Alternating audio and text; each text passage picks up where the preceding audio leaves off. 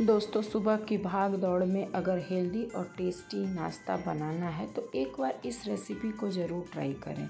ये रेसिपी बिल्कुल झटपट से बनती है। तो चलिए फिर इस रेसिपी को बनाना शुरू करते हैं। इसे बनाने के लिए मैंने एक कप सूजी, एक कप ओट्स और हाफ़ कप चावल का आटा लिया है। इसमें एक कप दही और एक कप पानी डाला है। इसमें टेस्ट के अकॉर्डिंग आप अपना नमक डाल लें और डालने के बाद इन सारी चीज़ों को अच्छे से मिला लें। मिलाने के बाद इन इन सारी चीज़ों को मिलाते समय अभी मुझे लग रहा है कि थोड़ा पानी और चाहिए तो मैंने यहाँ पर एक कप पानी और डाला है। और एक कप पानी डालने के बाद इन सारी चीज़ों को खूब अच्छे से मिला लेना है, जिससे कि इसके अंदर कोई भी गुठलियाँ या लम्स ना रहें। देखिए, हमारा जो बैटर है वो बिल्कुल अच्छे से मिल चुका है और इसे 10 मिनट के लिए रेस्ट पर छोड़ देना है।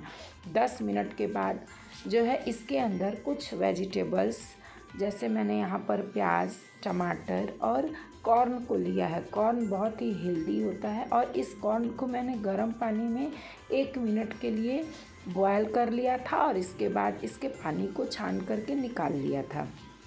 अब इसमें कुछ कटे हुए धनिया पत्ता डालेंगे। अब अपने नाश्ते को थोड़ा और इंटरेस्टिंग और टेस्टी बनाने के लिए हम यहाँ पर एक स्पेशल तड़का तैयार करेंगे, जिसके लिए मैंने यहाँ पर दो चम्मच मस्टर्ड ऑयल लिया है और उसमें एक चम्मच उड़द की दाल, एक चम्मच चने की दाल और एक चम्मच मैंने सरसों के दाने डाले हैं। साथ ही साथ आप अपने टेस्ट के अकॉर्डिंग इसमें हरी मिर्च डाल लें और इस तड़के को हल्का ब्राउन मतलब चटकने तक जो है इसके अंदर थोड़ा सौंधापन आ जाए, तब तक इसको क्रैकर करना है। इसके बाद इस तड़के को हम अपने बैटर के अंदर डाल देंगे। साथ ही साथ मैंने यहाँ पर एक चम्मच काली मिर्च और पिंच चुटकी भर जो है मैंने हल्दी लिया है। नाश्ते को बिल्कुल पीला नहीं करना हल्का सा कलर देना है और इन सारी चीज़ों को अच्छे से मिला लेंगे। आपको हमारी वीडियो अगर अच्छी लगे तो वीडियो को लाइक करें सब्सक्राइब करें और चैनल पे बेल आइकन दबाना ना भूलें, जिससे आपको जो हेल्दी और टेस्टी नाश्तों का नोटिफिकेशन आप तक सबसे पहले पहुँच सके। तो ये देखिए, मैंने इन सारे मिक्सचर को, जो भी सामान थे, उन सारी चीज़ों को मैंने अच्छे से मिला लिया है। अब यहाँ पर वन फोर्थ टीस्पून के करीब बेकिंग सोडा डालेंगे। यहाँ पर बेकिंग पाउडर या बेकिंग सॉरी, इनो का इस्तेमाल नहीं करना है, जिससे कि हमारा नाश्ता बिल्कुल सॉफ्ट बने। और एक पैन लेंगे, इसमें हम लोग अपने नाश्ते को हल्का हल्का तेल लगा करके हम लोग इस नाश्ते को बनाएँगे। नाश्ते को न तलना है ना बहुत ज़्यादा ऑयल लगाना है। बिल्कुल हल्का हल्का तेल लगा करके आप इसे बनाएँगे। यहाँ पर मैंने इसे ढक करके दो से तीन मिनट जब तक हमारा नाश्ता थोड़ा ऊपर से सेट हो जाए ढक करके पकाएँगे। इसके बाद इसमें हल्का सा तेल जो है ऊपर से ग्रीस करेंगे और नाश्ते को किनारे से छुड़ाते हुए पलटेंगे। पलटते समय थोड़ा सा ध्यान रखना है कि हमारा नाश्ता टूटे नहीं, क्योंकि नाश्ता इतना सॉफ्ट बनता है कि पलटते समय थोड़ा सा सावधानी रखना पड़ता है।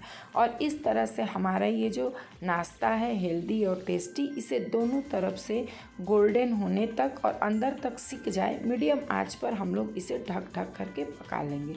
तो देखिए, मैंने यहाँ पर इस नाश्ते को बना लिया। इसी तरह से आप जितना भी बैटर है, उसको एक एक करके अपने नाश्ते को तैयार कर लेंगे और ये हमारा हेल्दी और टेस्टी, बिल्कुल कम तेल में नाश्ता बन करके तैयार हो गया है।